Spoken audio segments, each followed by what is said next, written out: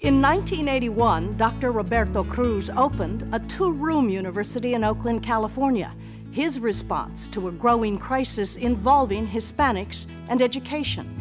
Since that time, the National Hispanic University has been encouraging, engaging, and giving hope to thousands of students. We received state, uh, state authorization to grant degrees in 1981, and the dream was launched. In the mid 1980s, I had the opportunity to meet Dr. Roberto Cruz, and I said, that university belongs in San Jose. That, that university belongs in Silicon Valley. We would borrow the professors from Stanford, from UC Berkeley, and other campuses that would come at night and moonlight with us and teach the courses. Pride in the school, in its mission, and in the students it serves has played an important role from the beginning. This sense of pride has attracted support from every corner of our community, both public and private, from neighbors and friends, from near and from far. It came as no surprise when the National Hispanic University was rated among the top 25 nonprofit Hispanic organizations in the United States.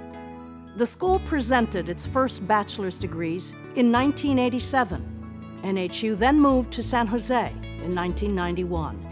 In 1994, it relocated to its modest campus on Story Road, formerly a grammar school. In that year, an event especially important to the school's mission occurred. NHU was approved to award teaching credentials. If you want to have meaning in your life, then associate yourself with causes that are bigger than yourself and themes that are beyond your time. And I believe teachers have that kind of distinction and uniqueness to their being. To be able to transmit knowledge to another person, to have faith that that person can go forward, to watch that touch a future generation is, in fact, touching the future and extending one's own influence into a very distant future. Um, so the National Hispanic University, by focusing as extensively as it does on education, is, is going to have uh, an effect that cannot even be calculated. Throughout its history, NHU has made Hispanic education a priority, one of only three accredited universities in the United States to have done so. It's also been recognized for remarkably high retention and graduation rate for Hispanics. In 1997, NHU formed a unique joint enrollment agreement, which would allow it to partner with San Jose State University to increase the number of Hispanic college graduates. I was at the ceremony where Dr. Caret from San Jose State and Dr.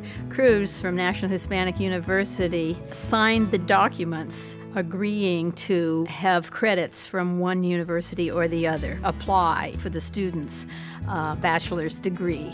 That was a marvelous idea and shows the kind of collaboration, the kind of partnering that this valley, I think, is known for. In 1997, NASA partnered with NHU so Hispanics might be better prepared for careers in math, science, and engineering. In 1998, the school also prepared more Latino bilingual teachers in Northern California than any other four year institution. Since its founding, 13,000 students have been touched by the school.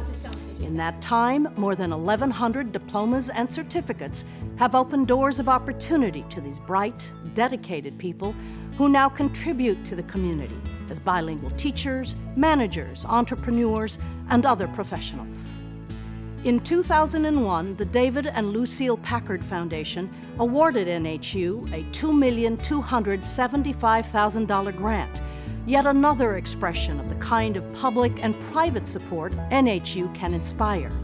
Now, with an expanded campus, that dream, with your help, will soon become a part of the proud history of the National Hispanic University.